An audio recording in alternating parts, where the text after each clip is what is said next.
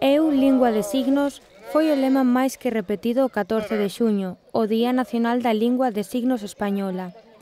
Autoridades e membros da Asociación de Persoas Xordas de Lugo realizaron un percorrido pola cidade conmemorando este día especial. Escogemos un día de, de, todo el año para darle difusión, igual que hay otros tipos de fechas, pues, de, pues a lo mejor de Asociación contra el Cáncer o otro tipo de colectivos, y entonces nosotros cogimos eh, esta fecha desde hace 10 años, que, que, bueno, que está mm, ya implantado, pero eh, todavía no está, digamos, moi consolidado. Nesta xuntanza reivindicouse unha vez máis a total inserción das persoas xordas na sociedade. As persoas con discapacidade auditiva somos como invisibles, Entonces, bueno, es como el mismo día del sordo, de las personas sordas, el 24 de septiembre.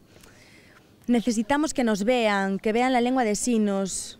A inclusión ten que ser eh, unha das prioritarias. Non podemos obviar a un sector da sociedade que por ter unha discapacidade poida quedar excluída. A muralla romana ou a Deputación Provincial foron algunhas das paradas desta ruta, na que de xeito simbólico tinguiuse a fachada do Pazo de San Marcos, simbolizando a sensibilidade da institución provincial coas persoas xordas. É algo que debería empezar a implantarse xa tamén dende a educación, dende o colexo, igual que aprenderemos outros tipo de idiomas, a lingua de xordos debería ser pois ser tamén obligatoria, non? Unha xornada especial na que un xesto vale máis que mil palabras.